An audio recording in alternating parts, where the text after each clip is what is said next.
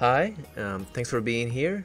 Uh, today I'm going to be talking about uh, the vehicle logs, events, and properties parser. It's another um, little tool from the xLEAPP family that I've been working with Geraldine Bly.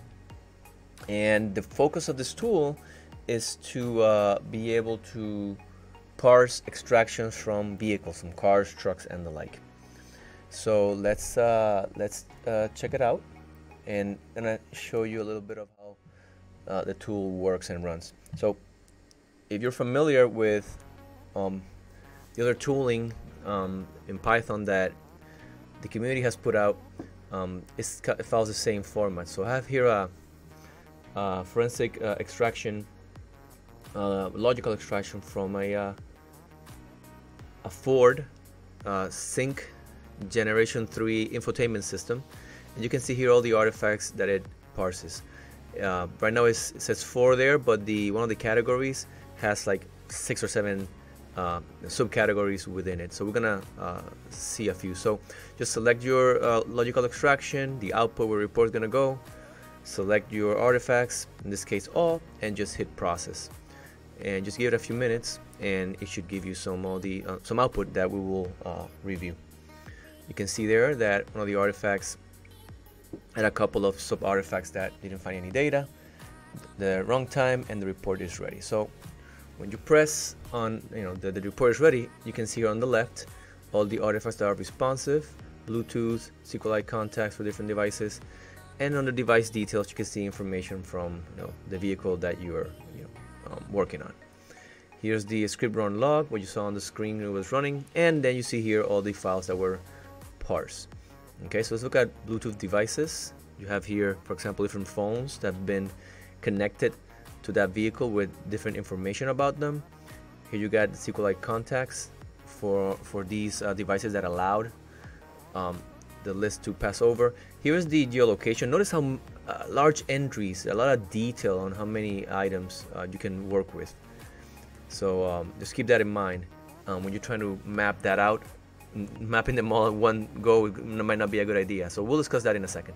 The the uh, how many miles uh, the car has uh, traveled, uh, the temperature on the outside of the vehicle at different times, and something I want to point out is the uh, how easy it is to backtrack all this information. You see the path where the data was you know was at, and in this case, what type of log had it really specifically. So let's look at the report um, in, in inside the report in more detail beyond the HTML. You see here are the HTML files that we reviewed. And let's go to the uh, temp folder. So the temp folder, when you do an extraction, let's say from a logical extraction from a zip file, it will pull out the specific files that it parsed.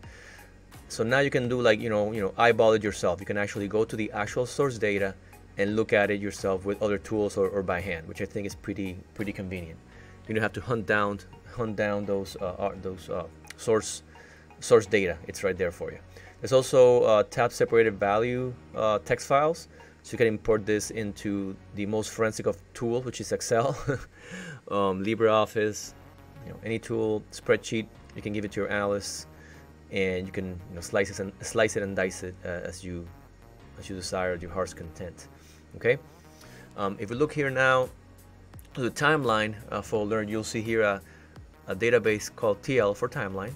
And if you hit browse data, for example, you'll see there uh, all the artifacts. Going to sort them by time, and all the artifacts uh, how they relate to each other. For example, you see the speed being there uh, recorded of the car, how many miles uh, the vehicle traveled. So if you're interested in a particular set of time, you can then it's as simple as filtering just for the day, hour, minute that you're interested in, and see how, what the vehicle was doing. You can see, for example, here as the car is moving, how the vehicle, how the speed increases or decreases. There's a temperature readings in between and the like. So it's pretty useful to see it in that timeline fashion, all the artifacts, how they relate to each other. Here in the KML exports, there's a big KML with all the all the your location points, but if you feed that file to your Google Maps application, it's gonna crash. It's too big. So what I suggest you do is open the lat long uh, SQLite database and select for the time periods that you care about. Okay. In this case, I'm selecting uh, this this specific day.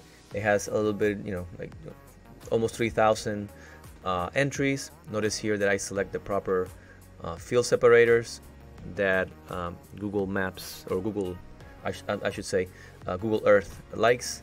I'm gonna name it test data since you know, we're showing this as, as a test. Okay. And now the only thing you have to do is you have to open your Google Earth and import that text file. All right. And notice that it will tell me that uh, give, give me a complaint because it'll say it's like you know too many entries in one go and that's what I'm saying try to import everything like that 29 megabyte file is gonna crash your Google Earth Pro right so do selections of the different time periods that you're interested in if you're using this tool right notice here that um, latitude is gonna be that second column and longitude that third column. So I did it like that so it matches latitude longitude as you see here in the app. So the output of the database it's latitude longitude order okay? Here it's complaining see because it has you know more than 2500 but you know we have 2800 so it's not a big of a that big uh, of a difference. So I'm gonna import them all okay you want to apply a template? No I'm okay with the defaults uh, you know little icons and stuff that it has. So let's see how it looks. Look at that. Look how nice.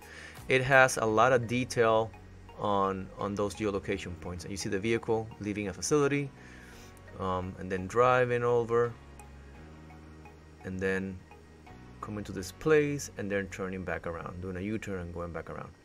Okay information that the vehicle has. So if you press any of these uh, points you can see there the timestamp and the actual geolocation points as as described.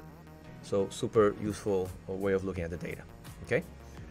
Now I got, I'm gonna show you now a few screenshots of the tool working for artifacts that I cannot show you the actual output, but at least you can see the format. And the reason I'm doing this is because it's data from a case, so I cannot share it. But I, I just want you to look at the format of the report. So let's start with the access, access point list. So uh, some vehicles, some Ford vehicles will keep track of whatever access points it comes across. So you'll see the BSSID, right? And the SSID, pretty much the MAC address of that device, the name of the device, the strength of that signal, and where is it? Where is that located? In which log, right? Which is super useful. Um, let's look at device details here. Let me open it real quick. Uh, where is it? There we go. So you see here, for example, this vehicle that I'm examining, you'll see uh, the fuel level, the ignition state, is the navigation is turned on or off, you know, the, the how many miles has, has, has, uh, has the vehicle traversed, the platform in regards to what type of sync generation it has on the infotainment system, the VIN from different locations, and the firmware number. I mean, this could be, a, depending on the type of vehicle, we can have a lot of information that will be placed here in the device details section, okay? Really easy to access on this tab when your report opens. Um, the vehicles can also keep track of the vehicle road speed limits, which will tell you here, will tell you the timestamp, the road you were traveling, you know, let's say you know, Interstate 4, right? At whatever location, and the speed limit for it, okay? And again, a lot of details in regards to that. So really useful to look at this and have an idea where the vehicle was at at what time. Uh, really easy. And then we have here the transmission status report which tells you if the vehicle is in neutral, reverse, parking, going back and forth, whatever it's doing, you can see it there. Super useful. And I have here another report, which is the vehicle info report. It has a lot of information. Uh, some of that I used to I used it to populate the devices tab, but you want more detail, like you know ES ESN number, right? so it's there whatever for whatever that is used the RAM size platform I have already I, I pull it from here and from other places right? So pretty much this is vLEAPP uh, again um, just another uh, tool in your toolkit. It's Python based as said previously and if you have a extraction you can go forward. Um, these extractions it's of note that tend to be at least for these vehicles the Ford ones QNX file systems. So I have a, another video that you can you know, look here. I'm gonna put it in the in the in this video's description, where it shows you how you can manage QNX uh, file systems if your forensic tool or preview tool doesn't does not recognize those partitions. So I have a video that shows you how to do that. Again, thank you for watching, and you can reach out to me through here or Twitter or uh, through my email. I'm more than glad to help at any time. Thank you so much, and uh, have a nice day.